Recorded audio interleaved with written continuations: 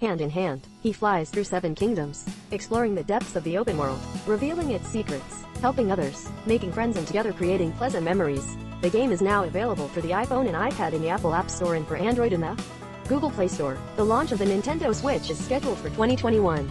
Paradise Children of the Light is the latest game of thatgamecompany. The creators of Flow, Flower and Journey for PS3 and PS4. Himmel Children of the Light Wiki is a fandom game community.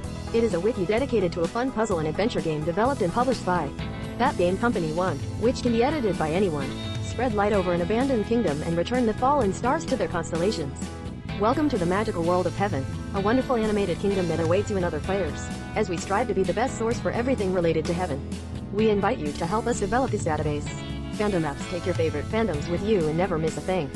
Community content is available on the CC-BY-SA website unless otherwise noted. Please note that this wiki contains spoilers.